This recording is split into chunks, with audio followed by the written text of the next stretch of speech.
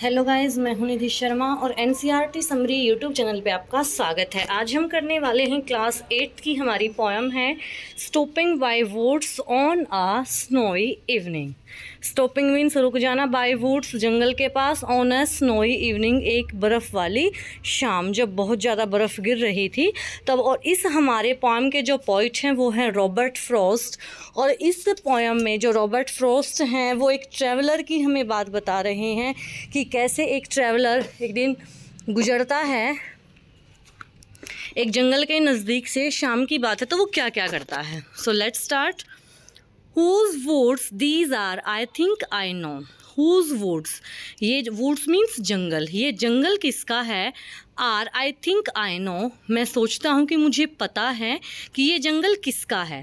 His house is in the village though और उस आदमी का जो घर है, जो ऑनर है इस जंगल का, जो मालिक है इस जंगल का, उसका जो घर है वो गाँव में है। He will not see me stopping here और उसने मुझे नहीं देखा होगा यहाँ रुकते हुए कि जो इस जंगल का मालिक है, उसको नहीं पता होगा कि मैं यहाँ पर रुक गया हूँ। To watch his woods fill up with snow और वो जो ट्रैवलर है वो यहाँ पर रुका है। क्या करने के लिए? टू वॉच देखने के लिए हिज वुड्स उसके जंगल को फिलअप विद स्नो जो कि बर्फ़ से बिल्कुल भर चुका है। स्नोफॉल हो रही थी तो जंगल में आपने देखा होगा ना कि स्नोफॉल होती तो कैसे पेड़ों पे बिल्कुल वाइट वाइट से बर्फ़ जम जाते तो एक बार ट्रैवलर ना जो शाम के टाइम जंगल से गुजर रहा था तो उसने क्या देखा कि जो जंगल है वो बिल्कुल बहुत सुंदर हो चुका है, बर्फ़ से घिर गया। बिल्कुल भर गया है। My little horse must think it queer queer means अजीब, ठीक है? अब जो ट्रैवलर है, वो कहाँ, किससे जा रहा था? एक कैरियर से, ठीक है? एक जैसे घोड़ा, घोड़े पे बैठ के जैसे जो जाते हैं तो वो ऐसे जा रहा था। तो वो क्या कहता है कि जो मेरा छोटा हॉर्स है मस्ट थिंक वो सोचता होगा इट्स क्वियर कि कितना अजीब है to stop without a farm house कि यहाँ ऐसे रुकना विदाउट अ फार्म हाउस कोई फार्म हाउस भी नहीं है near between the woods and the frozen lake एक साइड तो इतना गहरा, घना घना जंगल है। दूसरी साइड जो झील है, वो बिल्कुल जम चुकी है उस पर बर्फ़ जम चुकी है। एक ऐसी जगह पे रुकना, जहाँ पर एक साइड तो जमी हुई बर्फ़ की झील है और दूसरी साइड घना जंगल है और ना वहाँ पर कोई फार्म हाउस है जिस हम रात को स्टे कर सके। और कितनी अजीब बात है कि मैंने अपने घोड़े को वहाँ पर रोका है। The darkest evening of the year और यह साल की सबसे डार्केस्ट इवनिंग थी, ठीक है? क्योंकि ठंड की जो इवनिंग होती है, बहुत डार्केस्ट होती है वो। बिल्कुल सुन सन्नाटा होता है हर जगह और जंगल में एक तरफ़ तो वो जमी हुई झील है और दूसरी तरफ़ बहुत बर्फ़ गिरा हुआ जो है, जंगल है। तो ये darkest evening of the year बोला गया है।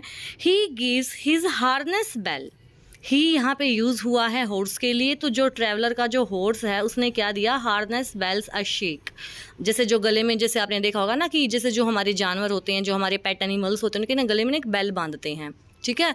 तो वो अपनी ऐसे हार्डनेस बेल को थोड़ा सा ऐसे खींचता है ये पूछने के लिए टू आस्क ये पूछने के लिए if there is some mistake कि क्या हम यहाँ पर रुके हैं?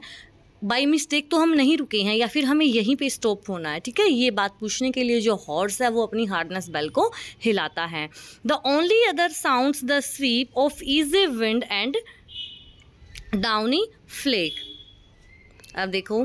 Easy winds a gentle wind downy flakes soft and fluffy snow flakes अब मतलब वहाँ पर the only other sound the sweep वहाँ पर जो एक और आवाज़ थी, जो बह रही थी, वो केवल क्या थी? जैसे आपने देखा होगा ना, बिल्कुल जो एक विंड चलती है हल्की हल्की सॉफ्ट सी जो विंड होती है, साथ में स्नोफॉल की वो है, लेकिन साथ में जो है केवल वही आवाज़ वहाँ पर थी, ठीक है? द वुड्स आर लवली जंगल बहुत प्यारा डार्क घना एंड डीप और बहुत गहरा था.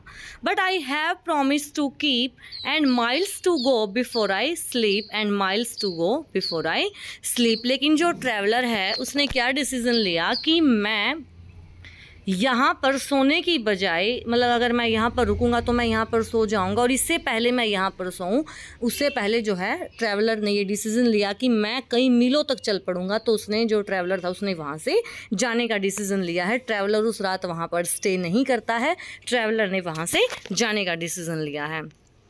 बहुत इजी पोएम थी. रॉबर्ट फ्रोस्ट जो है हमारे अमेरिकन पोइट हैं.